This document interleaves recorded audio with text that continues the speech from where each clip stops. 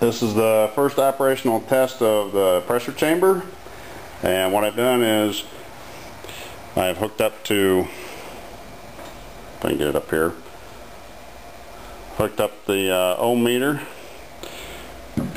to the oil sensor and we're going to see what we get.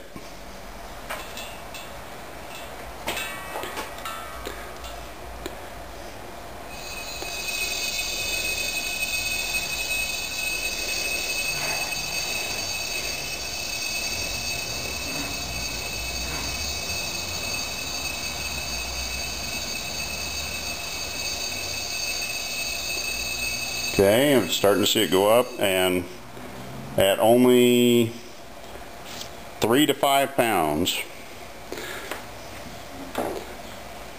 the switch closes and the resistance becomes one ohm.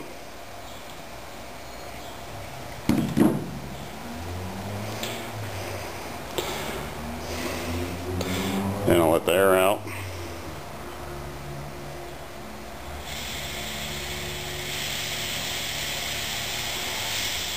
And there I went to open. So the way this works is it's open if there's very little pressure, like three pounds or less, and closed if there's more.